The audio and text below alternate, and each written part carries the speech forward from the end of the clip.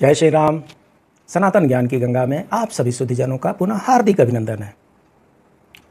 कई बार ऐसा होता है कि बहुत कुछ जीवन में ऐसा घटित हो जाता है जो हमें अच्छा नहीं लगता और बहुत कुछ ऐसा घटित हो जाता है जिससे हम बहुत ही प्रसन्न हो जाते हैं। तो किसी विद्वान का कहना यह है कि यदि हमारे मन का हो रहा है तो बहुत ही अच्छा है। यदि हमारे मन का कुछ हो रहा है तो ये बहुत ही अच्छा है, क्योंकि वह तब तो हमें अच्छा ही लगेगा। लेकिन यदि वह हमारे मन का नहीं हो रहा है तो भी अच्छा है, क्योंकि उसमें ईश्वर ने हमारे लिए कुछ ना कुछ भलाई सोच रखी होगी। इसलिए चित्त भी अपनी है, पट भी अपनी है। अगर मन का हो रहा है तो वैसे ही मन प्रसन्न है। और अगर मन का नहीं हो रहा है तो कुछ ईश्वर की प्लानिंग से हो रही है। और विश्वास रखिए, भगवान की योजना सबसे अच्छी योजना होती है। मनुष्य उतना दूर तक नहीं देख सकता जितना दूर तक भगवान देख सकते हैं। और इसलिए भगवान की योजना सर्वोत्तम योजना होती है। कैसे होती है? इस दृष्टांत में देखते हैं। एक छोटे से गाँव में एक छोटा सा मंदिर होता है। मंदिर में एक सेवक होता है। वहीं पर सेवा वगैरह करता है और मंदिर में जो कुछ भी चढ़ावा वगैरह होता है, भोग वगैरह लगता है, उसी में से कुछ पंडित जी उस सेवक को दे दिया करते हैं और खा पी करके वहीं पर मंदिर में सो जाता है। फिर दूसरे दिन उठता है, साफ़ सफ़ाई में लग जाता है। वैसे तो उसका जैसे तैसे काम चल रहा है बट वो अपनी दिनचर्या से प्रसन्न नहीं है। एक दिन पंडित जी कहीं गए होते हैं और सेवक सफ़ाई करते करते भगवान के सामने खड़ा हो जाता है और भगवान के सामने अपना दुखड़ा रोने लगता है। कहता है, हे भगवान, आपका काम कितना आसान है। चुपचाप दिन भर खड़े रहते हैं और आप पर मेवा, मिष्ठान सब कुछ चढ़ता रहता है। और एक मैं हूँ, सुबह से लेकर शाम तक परिश्रम करता रहता हूँ और तब भी मेरा गुजारा बड़ी मुश्किल से होता है। सचमुच में आपका जीवन बड़ा ही आसान है। भगवान उस सेवक के सामने प्रकट हो जाते हैं, स्वयं प्रकट हो जाते हैं और सेवक को कहते हैं, हे सेवक, जैसा आप सोच रहे हो वैसा बिल्कुल नहीं है। सेवक कहता है, नहीं भगवान, मेरा जीवन बहुत ही कठिन पूर्वक है और आपका जीवन बहुत आसान है। भगवान कहते हैं, सेवक दिन भर मूर्ति बन के खड़े रहना इतना आसान काम नहीं है। सेवक बोला नहीं प्रभु, आप मुझे बहला रहे हैं। आपका काम सबसे आसान है और मेरा काम बहुत मुश्किल है। भगवान समझाने की कोशिश करते हैं। सेवक बोलता है, भगवान, देर किस बात की? मुझे एक दिन के लिए भगवान बना दीजिए और आप मेरा ड्यूटी संभाल लीजिए। भगवान उसको समझाते हैं, देखो सेवक, मूर्ति बन के दिन भर खड़े रहना एक बड़े ही धैर्य का काम होता है। इतना धैर्य किसी के पास नहीं होगा। सेवक बोला, प्रभु, आप बहलाइए मत। मुझे आप प्रभु बना भगवान बना दीजिए और आप मेरी सेवक की ड्यूटी एक दिन के लिए कर लीजिए, एक दिन के लिए। भगवान कहते हैं, चलो ऐसा ही करते हैं। आज आप भगवान बन जाओ और मैं सेवक बन जाता हूँ। परंतु एक शर्त है हमारी। और शर्त यह है कि मूर्ति के सामने हर प्रकार के लोग आएँगे। कोई अच्छा कहेंगे, कोई बुरा कहेंगे। कुछ अच्छा हो रहा होगा, कुछ बुरा हो रहा होगा। एक शब्द नहीं बोलना है, मुँह खोलना तक नहीं है, इशारा करना भी नहीं है, एकदम मूर्ति बन के और सिर्फ़ देखते रहना है। सेवक ने बोला, ये कौन सी मुश्किल काम है? कर देते हैं। और दूसरे दिन सुबह में भगवान सेवक बन जाते हैं और सेवक भगवान। कुछ समय के बाद होता यह है कि एक धनी मनी आदमी आते हैं, भगवान के आकर, आगे आकर के हाथ जोड़ते हैं और बोलते हैं, हे भगवान, आज मैं एक नया बिज़नेस शुरू करने जा रहा हूँ, एक नई कंपनी बैठाने जा रहा हूँ। कृपा बनाए रखिएगा कि उसमें हमारा मुनाफा बढ़ता रहे। और इतना कह करके वो झुक करके प्रणाम करते हैं भगवान को। और झुक के प्रणाम करते हैं, उस समय उनका पॉकेट में से बटुआ उनका गिर जाता है, पर्स गिर जाता है। वो ध्यान नहीं देते हैं, वो निकल पड़ते हैं। भग, मूर्ति बना हुआ सेवक, वो सोचता है, ये तो बहुत गलत हो गया। उस सेठ का तो बटुआ यहाँ पर गिर गया।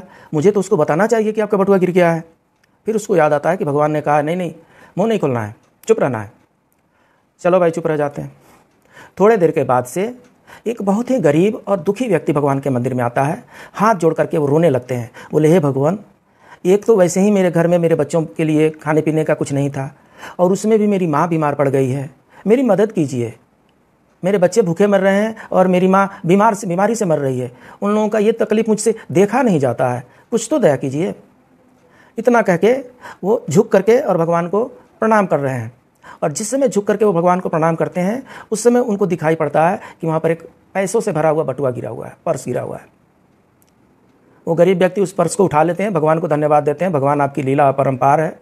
आपने तुरंत ही हमारी मनोकामना पूरा कर दी।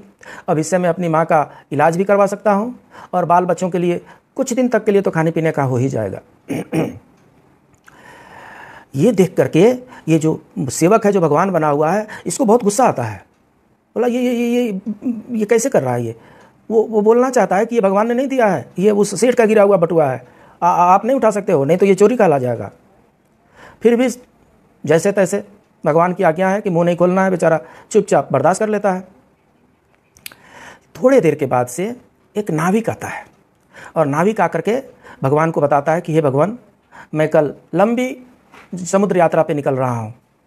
आप हमारी यात्रा को सफल बनाएँ। आपकी कृपा हम पर बनी रहे। और वो बोल करके वो नीचे झुकता है और झुक करके भगवान को प्रणाम करता है।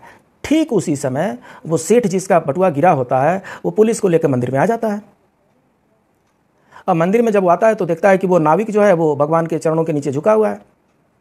सेठ बोलता है, मेरे बाद ये नाविक आया है, इसको अरेस्ट कर लीजिए, आप लोग पकड़ लीजिए। पुलिस उस बेकसूर नाविक को पकड़ने लगती है। पकड़ के जब ले जाने लगते हैं, तब जो सेवक जो भगवान बना है, बोला, अब बर्दाश्त नहीं होता। अगर मैं अब भी चुप रहा तो एक बेकसूर व्यक्ति जेल के भीतर चला जाएगा और जो पैसा लेके चला गया है, वो वो वो राज करता रहेगा। ये बहुत गलत हो रहा है, ये बहुत अन्याय हो जाएगा। ये अन्याय मैं नहीं कर सकता हूँ। और इसलिए वो बोल पड़ते हैं, पुलिस को बोलते हैं, सुनो सुनो सुनो, मैं भगवान हूँ और मैंने देखा है, इनके पर्स, इनका जो पर्स गिरा हुआ था, उसको सोन सौ सोन सौ एक गरीब आदमी लेकर के गया है। ये नाविक निर्दोष है, इसको छोड़ दो। मैं भगवान हूँ और मैंने सब कुछ देखा है। पुलिस उस नाविक को छोड़ देती है और उस गरीब व्यक्ति को पकड़ के ले जाकर जेल में डाल देती है। ऐसे ऐसे बहुत से दिन में अनुभव होते हैं। शाम के समय में भगवान घूम फिर करके आ जाते हैं और आते हैं, उसके बाद से बोलते हैं और सेवक बताओ। तो सेवक अपने दिन भर की दिनचर्या बताने लगता है और बोला, पता है भगवान, आज मैंने एक अन्याय होने से बचा लिया है। एक सेठ का बटुआ गिरा हुआ था, उसको एक गरीब ने उठा लिया था और उसका दोष नाविक पर लग रहा था। मुझसे बर्दाश्त नहीं हुआ। मैंने बता दिया उनको कि नाविक निर्दोष है और वो पैसा तो वो गरीब व्यक्ति ले गया है। और इस तरीके से मैंने एक निर्दोष की जान बचा ली। भगवान ने कहा, सेवक, तूने सब कुछ गड़बड़ कर दिया।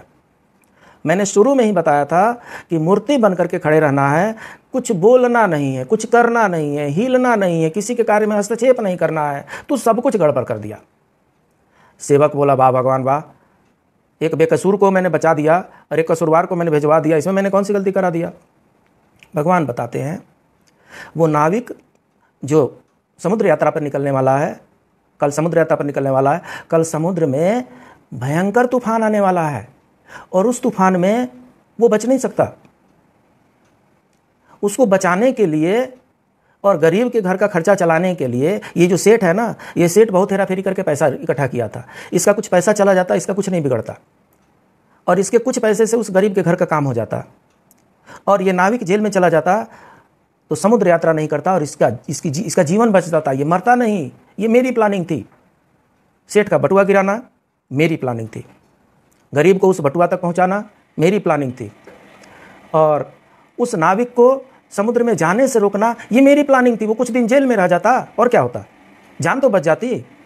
तुमने सब गड़बड़ कर दिया। सब लेने की देनी पड़ गई। अब वो गरीब पकड़ा भी गया, उस सेठ का पैसा भी मिल गया और वो नाविक अपनी यात्रा में निकलेगा, वो बच भी नहीं सकता है। सेवक को तब समझ में आया कि हमारी उतनी सोच तो थी ही नहीं। भगवान ने बताया कि देखो ऐसा है, भगवान की ये योजना है, भगवान बनना इतना आसान नहीं है, मूर्ति बने यहाँ पर इसलिए नहीं पढ़ा रहता हूँ। मूर्ति बने बने ये सारी प्लानिंग कर, करनी पड़ती है कि किससे कहाँ पर क्या निकलवाना है किससे कहाँ पर क्या पहुँचवाना है किसको कैसे रोकना है। ये बहुत लॉन्ग प्लानिंग होती है और इसीलिए वहाँ पर बुत बन के खड़ा रहना पड़ता है। तुमने मेरा सब प्लान चौपट कर दिया। इसलिए सच ही कहा गया है कि यदि हमारे मन का हो रहा है तो बहुत ही अच्छा है क्योंकि वो मेरे मन का हो रहा है। और अगर मेरे मन का नहीं हो रहा है तो भी अच्छा ही है। क्योंकि वो भगवान की एक योजना के तहत हो रहा है और भगवान की योजना सर्वोत्तम योजना होती है।